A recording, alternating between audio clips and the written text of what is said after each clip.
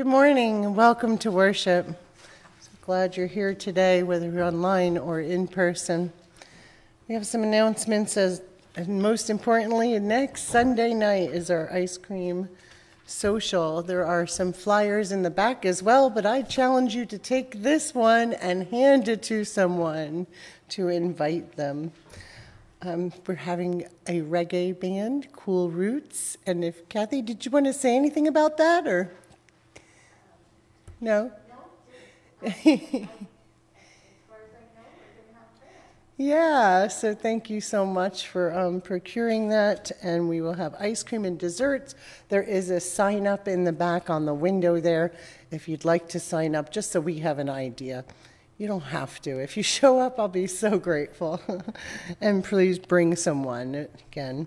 And um, then we have our barbecue still set outside on September 12th. That's more of a church thing. This one is to invite others and in the community. And Wednesday at 10, I'll be meeting if you would like to come and help hand out flyers. I have them separated. They're in uh, um, piles already in rubber bands with the, the num like odds on Garfield Street or even.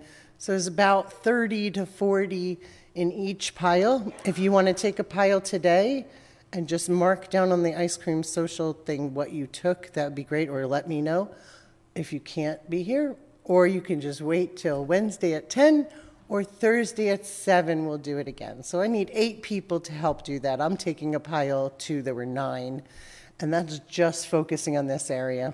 And then we're putting some ads out on social media and such and letting the neighborhood association know, inviting our gardeners. So we hope to have a nice crowd. And again, we'll socially distance in the parking lot or on the grass near the annex. So we should stay safe. And please, if you're going to help serve, we do need helpers to serve. Please mark that down uh, as well.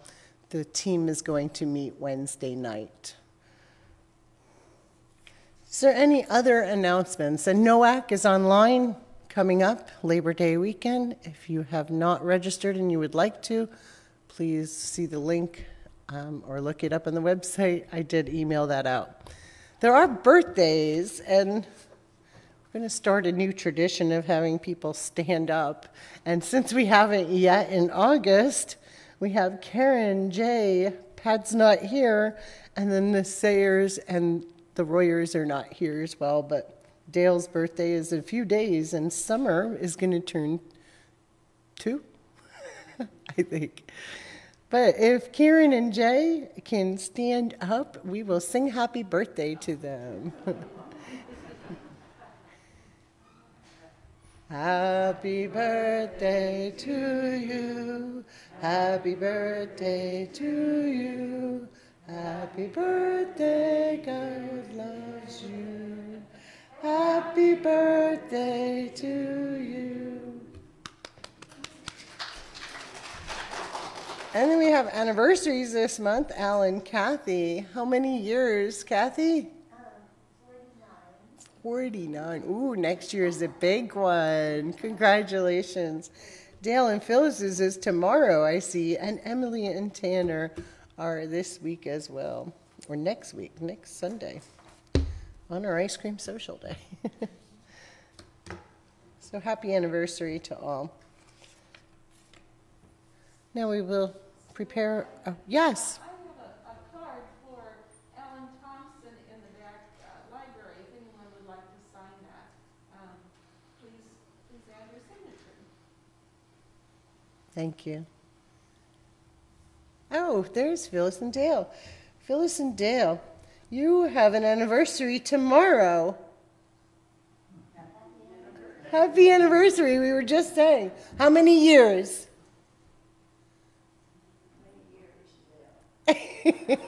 Did you stop counting? Congratulations. And happy birthday, Dale. We sang happy birthday. Did you hear us on the way up? that was for you too. All right, let's prepare our hearts for worship.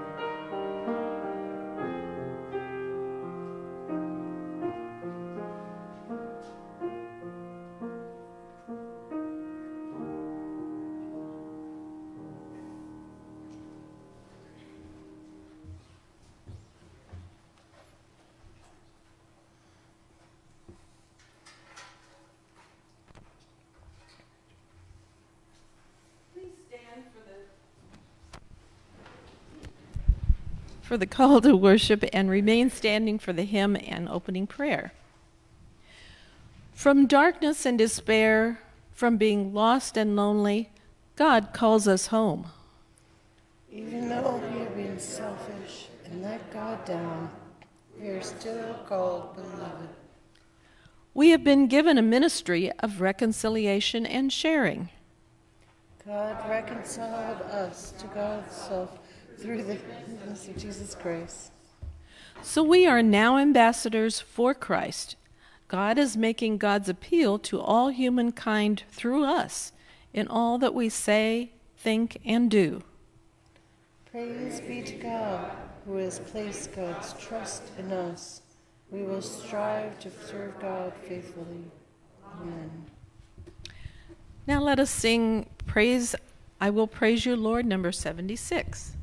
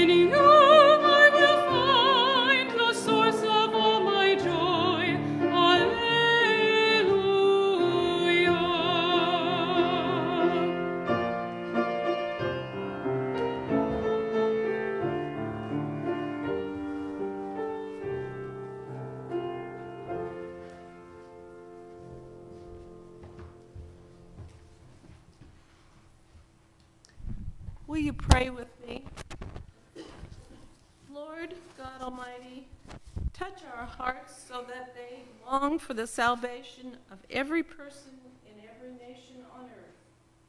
May your Spirit deepen my anguish over those lost in darkness. Help us to reach those who yet yet to know you, and show us ways to point to you as the way, the truth, and the life. Amen. You may be seated.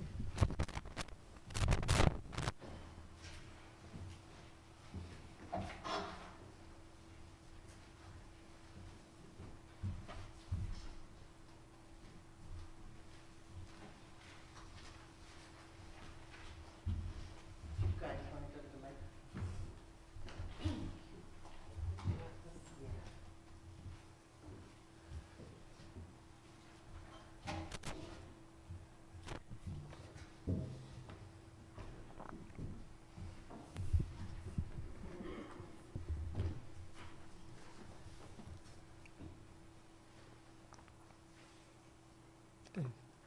wh- what is this about? It's a practice we observe that shows humility and symbolizes communion with each other and God. What do you mean, a practice? We have many as the church. We worship, we pray, we sing, and we take communion to remember Jesus' sacrifice for us. Is that all of them? No, there are others. There are some I like to call resurrection practices that we show by our actions, like forgiveness, hospitality, and love. There is also one we don't talk about much. It is called evangelism. What? Okay, no. I draw the line in standing on a street corner yelling or threatening hell to people I don't even know. Oh, that might be one form of evangelism, but it's a misguided one, in my opinion. We as the church need to reclaim what we were called to be a body of believers called to be witnesses to Jesus' life, death, and resurrection. Sharing the good news of the gospel is the Great Commission and why the church was formed. Well, how do we do that if we don't stand on a street corner?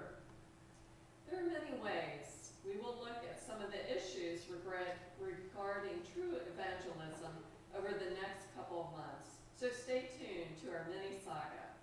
Come be, come see. What does that mean? Come be what? Come see what? It means we offer others to come to be a part of our church family so that they may see our faith and get closer with God. We are called to teach others and walk with them in faith.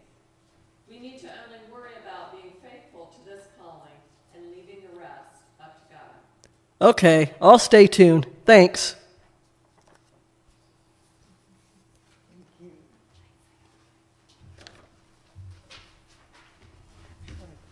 Thank you.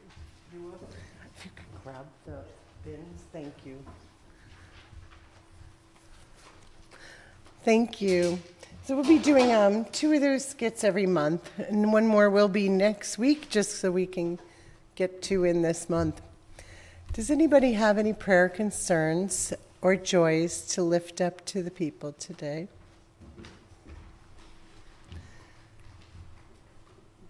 Harry, would you bring Judy a microphone, please? Okay, she's going to come up here. I just wanted to announce that um, prayers aren't always answered the way we, we request, although sometimes it is, that uh, my brother has passed as of yesterday. So thank you for your prayers. Uh, Funeral will be two weeks from today. Thank you.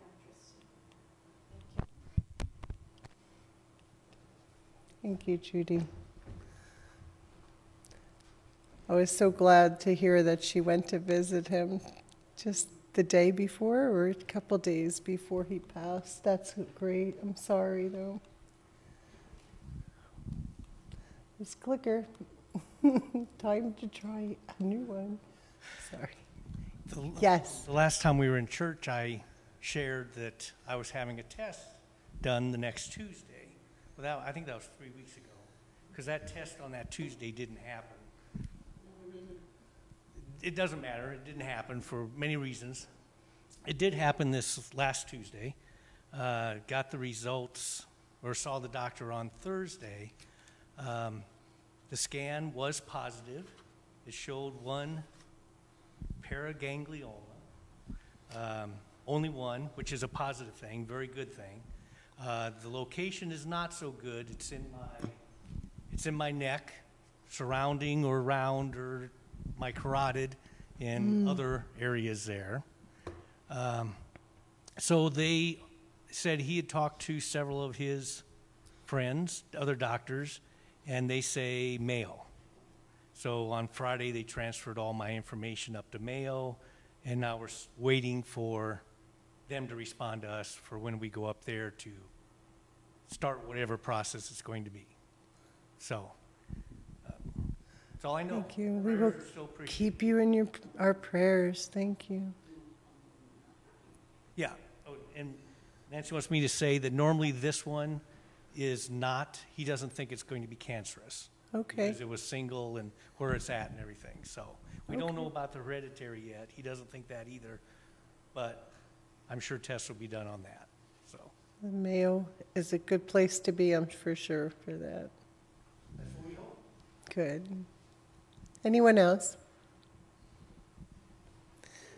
Please keep John, Janet in your prayers. Please keep Lois Marie in your prayers as she moved to a nursing home for good now, and we sure will miss her. Kay? Yes, I, it's my hearing and everything, but Judy, I did not get your message. Could you please repeat it so I can understand? Yes. um, Larry, her brother, passed away. And we were hoping that he was going to be moved here, but he was put on hospice care and his kidneys have shut down, and now he passed away.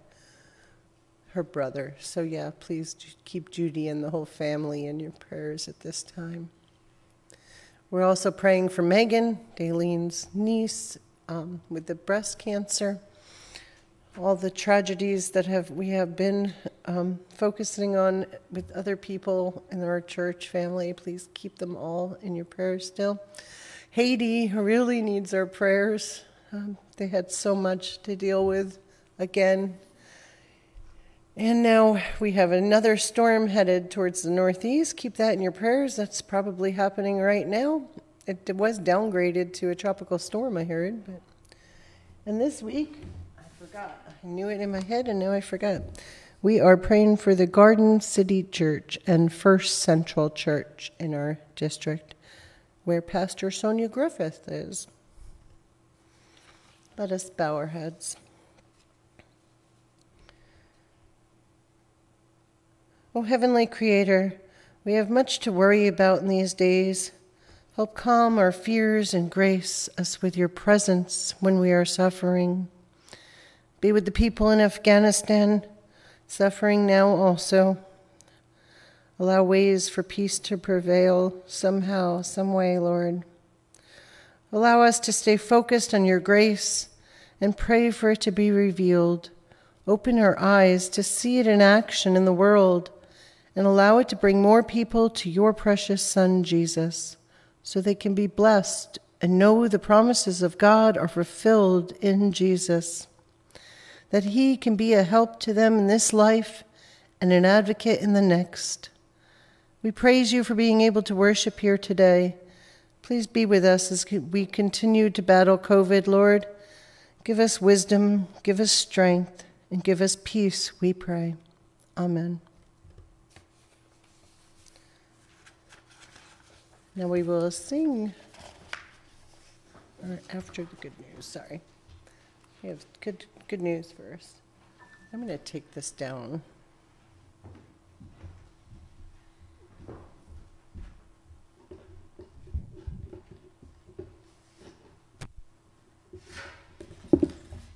I will be reading from.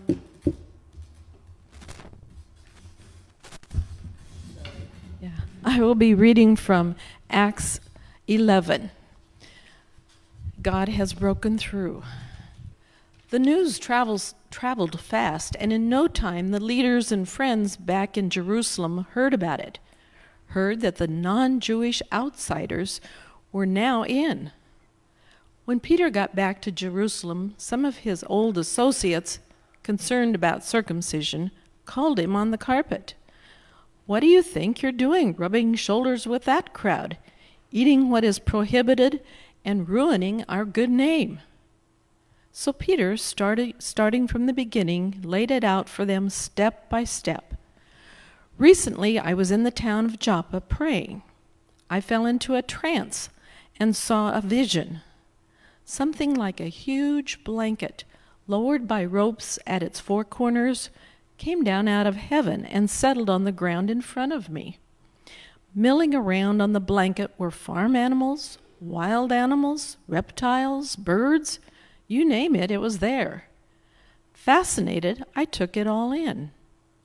Then I heard a voice Go to it, Peter, kill and eat. I said, Oh, no, Master. I've never so much as tasted food that wasn't kosher. The voice spoke again. If God said it's okay, it's okay. This happened three times, and then the blanket was pulled back into the sky. Just then, three men showed up at the house where I was staying, sent from Caesarea to get me. The Spirit told me to go with them, no questions asked. So I went with them, I and six friends, to the man who had sent for me. He told us how he had seen an angel right in his own house, real as his next door neighbor, saying, Send, send to Joppa and get Simon, the one they call Peter. He'll tell you something that will save your life. In fact, you and everyone you care for. So I started in, talking. Before I'd spoken half a dozen sen- sentences, the Holy Spirit fell on them, just as He did on us the first time. I remembered Jesus' words John baptized with water, you will be baptized with the Holy Spirit. So I ask you, if God gave the same exact gift to them as to us when we believed in the Master Jesus Christ, how could I object to God? Hearing it all laid out like that, they quieted down. And then, as it sank in, they started praising God. It's really happened. God has broken through to the other nations, opened them up to life. Those who had been scattered by the persecution triggered by Stephen's death traveled as far as Phoenicia, Cyprus, and Antioch, but they were still only speaking and dealing with their fellow Jews. Then some of the men from Cyprus and Cyrene who had come to Antioch started talking to Greeks, giving them the message of the Master Jesus. God was pleased with what they were doing and put his stamp of approval on it. Quite a number of the Greeks believed and turned to the Master. When the church in Jerusalem got wind of this, they sent Barnabas to Antioch to check on things. As soon as he arrived, he saw that God was behind and in all. He threw himself in with them, got behind them, urging them to stay with it the rest of their lives. He was a good man that way, enthusiastic and confident in the Holy Spirit's ways. The community grew large and strong in the Master. Then Barnabas, Barnabas went on to Tarsus to look for Saul. He found him and brought him back to Antioch. They were there a whole year, meeting with the church and teaching a lot of people. It was in Antioch that the disciples were for the first time called Christians. It was about this same time that some prophets came to Antioch from Jerusalem. One of them, named Agabus, stood up one day and, prompted by the Spirit, warned that a severe famine was about to devastate the country. The famine eventually came during the rule of Claudius.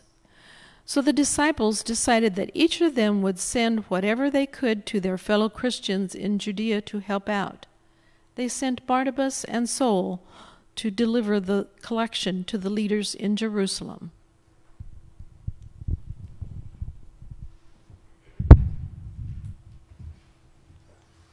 Thank you. And now we will sing My Hope is Built on Nothing Less. Verses 1, 2, 4, and 5. Sorry.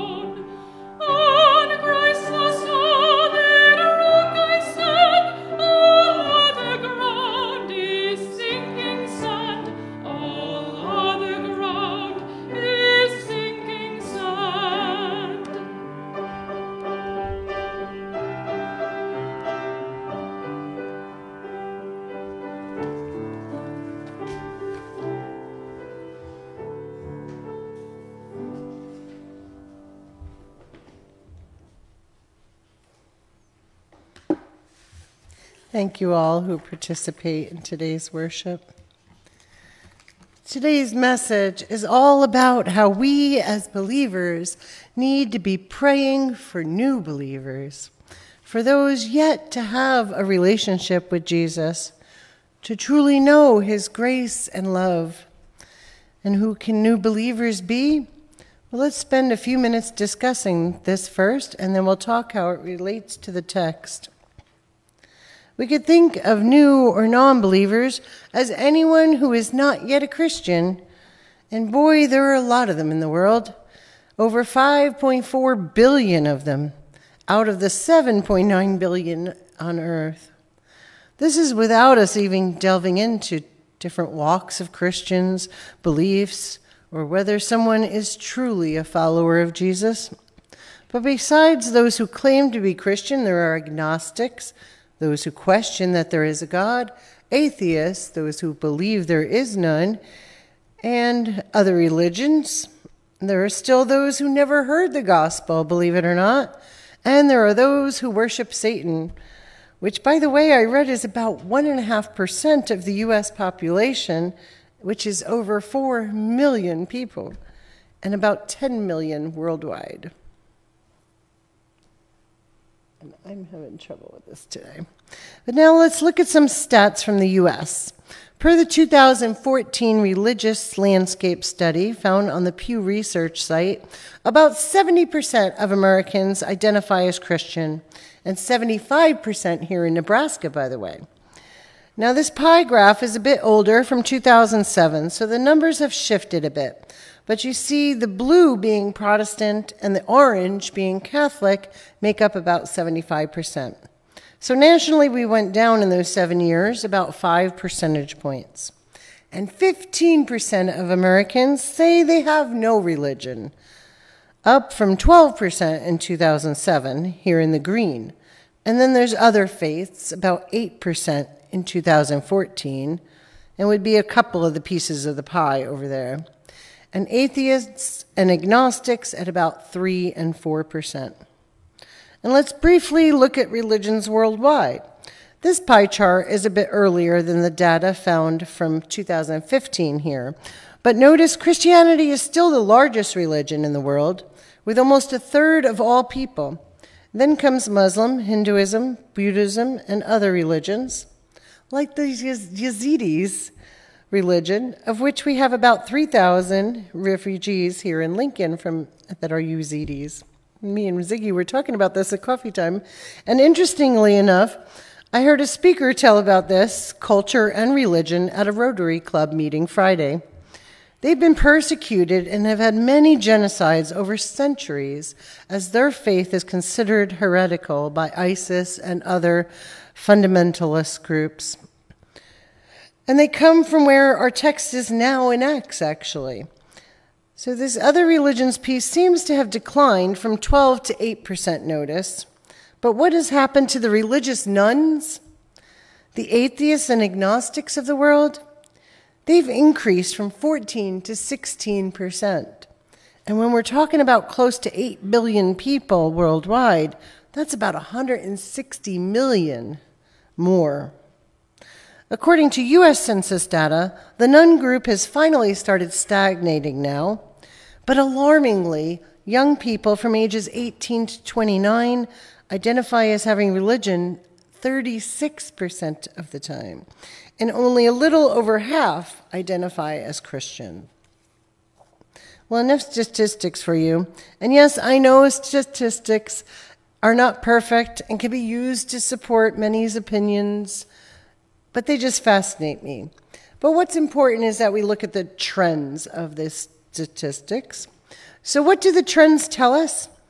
I know some like to blame the next generation, but maybe we need to look humbly at our, ourselves that we're not what we're not doing or what we are doing to contribute to the decline in the church.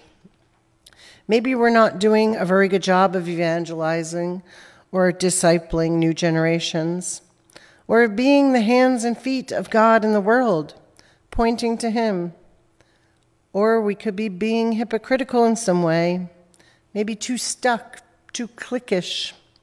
or not really believing in the power of God to reach those who have turned away from Him, or those living in a way that dishonors God, even. Now, I want to share. I, I, was going to share the whole chapter of Acts, but I asked Judy to do that from the message, as it seems to be an easier way to listen to such a long s- section. But I hope that you have or will go home and read it in your own interpretation or translation today, or if you have.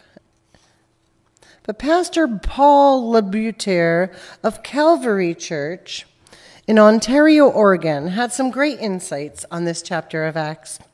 First, Peter is retelling the story, right, of what we studied two weeks ago in his vision and of Cornelius to his old friends in Jerusalem. In the NRSV, verse 2, it calls these people the circumcised believers. And in the message that Judy read from, they, it said they were concerned about circumcision. These are new believers in Jesus, but they're Messianic Jews. Those who came to believe in Jesus, but still think in a legalistic way. God is doing a new thing and slowly revealing it to the Jews. First, there were Samaritans, whom were like half Jews to them, being let into the fold. Then there were the eunuch and Cornelius, both Gentiles who sought after God. And now, even pagans in Antioch were about to be let in. He says we're seeing the development of thought that Paul writes about in Romans 3 later, in verses 20 to 22. That we are righteous before God even when we feel condemned due to what Jesus did for us. Our righteousness is based on grace through faith instead of works or by keeping the law. Instead of being happy about new believers coming to Christ, these people are upset that Peter went into the house of Cornelius. And this idea wasn't even biblical, it came from customs and rabbinic teaching. So we need to be careful that beliefs don't stem from what someone else says or tradition, but is based on revelation and the Word of God. Now, I agree with Pastor Paul that there are four things we can learn from how Peter responded to these criticizing what he did. And we can remember these things if someone feels that we're doing something God doesn't say, but we know God's calling us to believe that way or do something. First, he responded with an attitude of humility.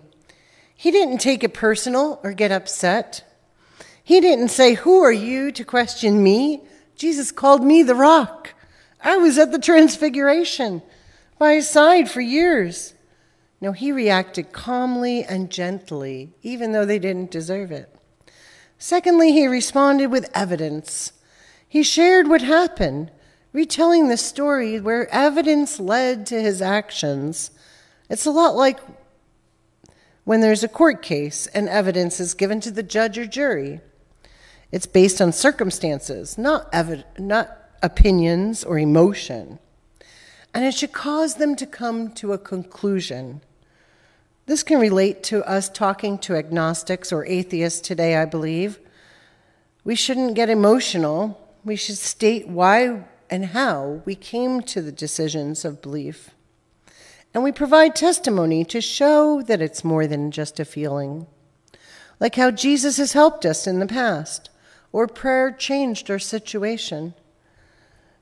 Peter adds a detail here in verse 12 that brings us to the third way Peter responds to the Jews. He says, He and six men went into Cornelius' house. So now it's not just his word against others, there are witnesses. Another thing needed in court, right? And witness testimony was very important to the Jewish culture. And here it shows that with others he applied wisdom. And then notice in verse 14 Cornelius wasn't saved alone, his whole household was saved. And it says the Holy Spirit fell on them just as it did on the apostles. And then he states the obvious conclusion that if it was surely of God, who was he to stand in his way? He's saying, if you have a problem with this, then you have a problem with God. Take it up with him. These are smart debate tactics Peter is using for sure. And then he pertains it to Scripture. In verse 16, he says, I remembered the word of the Lord, that John would baptize with water, and you would be baptized with the Holy Spirit. These are the same words said by Jesus in Acts 1. Everything we say or do, how we live our lives, should be backed up by the Word of God. And if it's not there, then we should cycle back and respond with humility. That's what Pastor Paul says, and I agree. And if we're basing our thoughts and actions and our theology on God's Word, then we don't have to elevate our opinion. It can be the last word. And what was the response in verse 18? They were silent. Sorry. They had nothing else to say, which reminds me when Jesus said, you, you who have no sin, cast the first stone. And the religious people went away quiet without throwing a single stone. Peter didn't need to keep arguing. He based his actions on God's word and revelation. And I just love the last part of verse 18 as they proclaim that new revelation that God had given the Gentiles repentance that leads to life. That's the beauty that we're praying for when we pray for new believers. And so now this revelation is going to be put to the test as rebels and people not even searching for God are about to hear the good news and turn to Jesus. Antioch is a bustling city of com- commerce, the third largest after Rome and Alexandria during the time. And like most big cities, there was lots of sinful behavior. And many kids would say today they're living like YOLO, you only live once. Or they're even practicing pagan religions, even with weird sexual rituals and such. And the text says most of the people were still just preaching to the Jews in Antioch. But then some men from, came from Cyprus and Cyrene and preached the good news to the Hellenists, who are the Greek Gentiles. Now, here's Cyprus, the island in the Mediterranean, and Cyrene is down here west to the Egypt. You, you can't really see it on the map, but it's down next to Egypt on the left, and what's now Libya. And we don't know who they are or how they heard of Jesus. But we know Saul was still up in Tarsus to the north of Cyprus, the island. Could word have gotten out to, about Paul's teaching?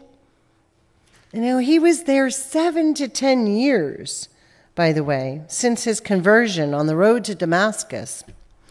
And we will see in verse 21 the hand of the Lord is with these mystery men, and a great many more people come to believe.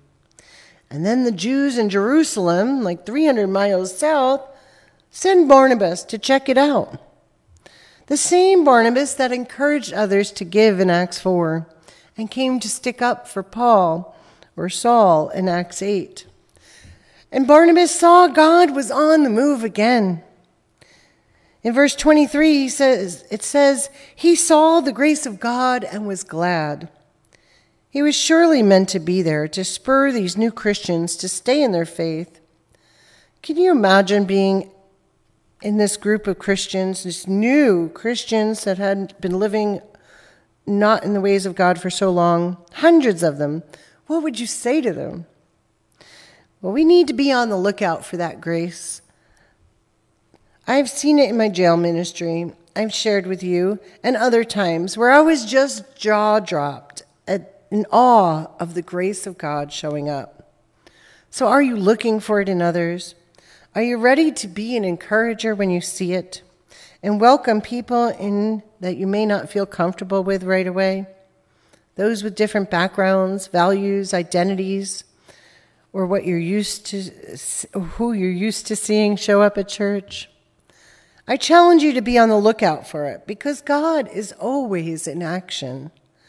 Sometimes we're just too blindsided or distracted, I think, to notice, to call it out and praise God with someone who's being shown that grace, to pray for and with people in desperation, to share the good news of Jesus and what he can do for someone.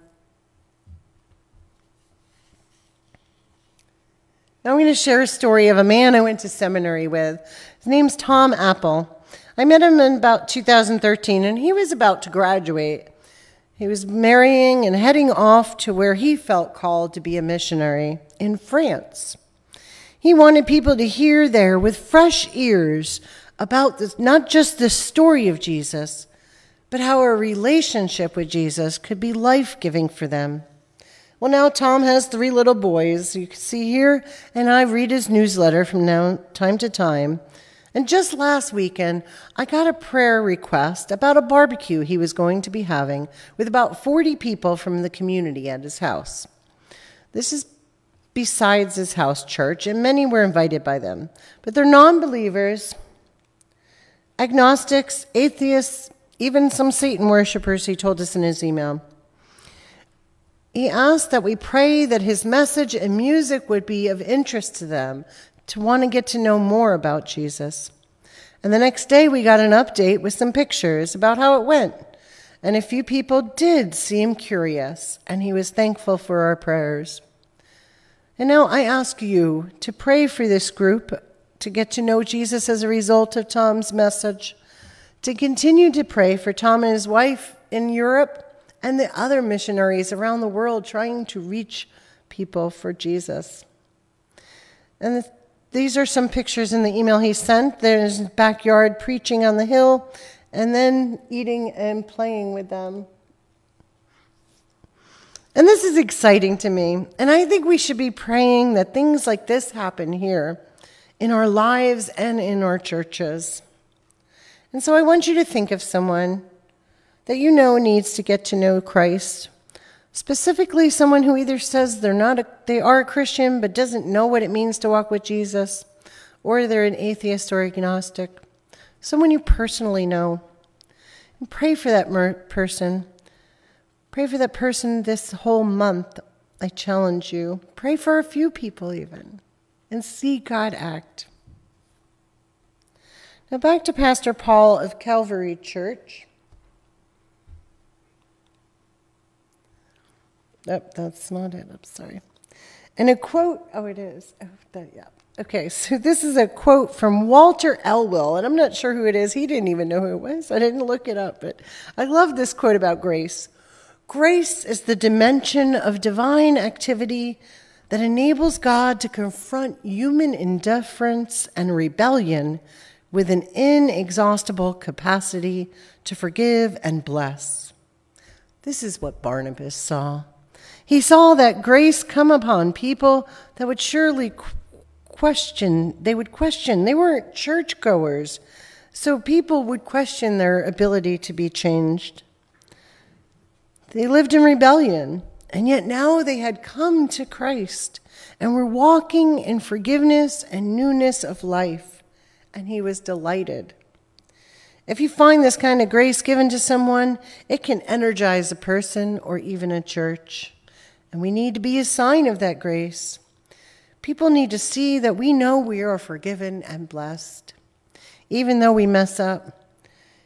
That we know He will never leave us or forsake us, and that it blesses us.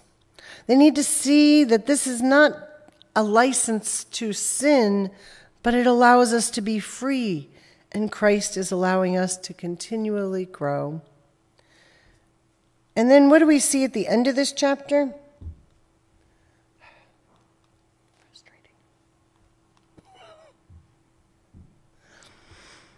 Therefore, they're foretold of a horrible worldwide famine that would occur. And these new believers decide God must have told them this for a reason. And not just to prepare for themselves, but to bless their fellow Christians. So they took up an offering and sent money back to Jerusalem, back to the believers there that were probably questioning their identity as Christians, as part of the flock. And this pl- place, if you notice, Antioch was the first time followers of Christ were called Christians. And what do these new Christians do? Many new to the faith altogether. They turn around and give a blessing. and these Jews are surprised. Missing my last page. Sorry. Even despite the reluctance to let them in, they are blessed by them. So pray for new believers. That's the gist of this message. And lastly, this last section is a reminder to give to our brothers and sisters in need. Which reminds me of Haiti at this time. As we've seen, they've been ravaged by another earthquake and then a storm and are in desperate need of our help. Our denomination has suggested an offering for them to be sent. If you have not seen it or you would like to give, feel free to mark it on your offering, and Jay will be able to put it on your giving report and send it to the Emergency Disaster Fund of the Church of the Brethren to help our brothers and sisters in Christ in Haiti. And now we will sing our final hymn, Gracious Spirit, Dwell with Me, number 507, verses 1 through 4.